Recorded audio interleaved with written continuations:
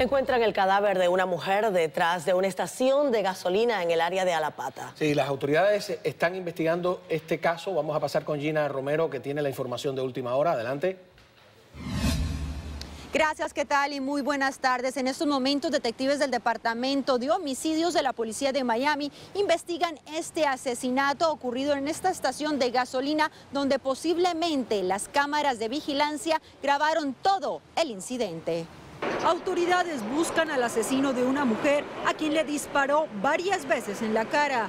El homicidio se reportó en la parte trasera de una estación de gasolina en Alapata. Esta tarde, familiares de la víctima, quienes no quisieron dar declaraciones, llegaron al lugar del crimen, mientras que residentes del área informaron que posiblemente se trataba de una madre dominicana quien solía caminar por el área. Ella andaba siempre por aquí, por el barrio. Ah, ¿Hace cuánto la veía? No, ella hace rato que no la veía, mucho tiempo no la veía por aquí. Hace ratico, ya para allá estaba en un programa de droga supuestamente. Eso es lo que dice la gente. ¿La conocía ella? De vista, de vista. Que ella jangueaba, pero estaba en un programa, creo, pero parece que se escapó, le dieron el acta, no sé. ¿Tenía un hijo? Sí, como de 13, 14 años, chiquito.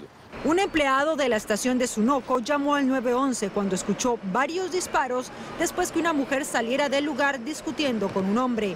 Las autoridades no han identificado a la víctima y recaudaron como evidencia los videos grabados por las cámaras de seguridad para determinar qué ocurrió y quién es el asesino.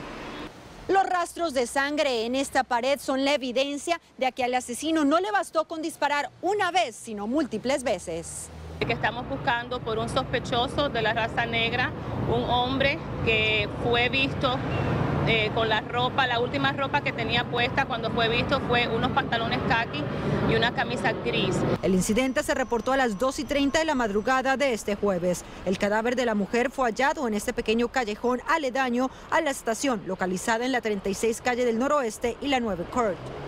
Para cualquier tipo de información que ayude a esclarecer este homicidio, usted puede comunicarse como siempre anónimamente a la línea de alto al crimen al 305-471-8477. Para América Noticias les informó Gina Romero.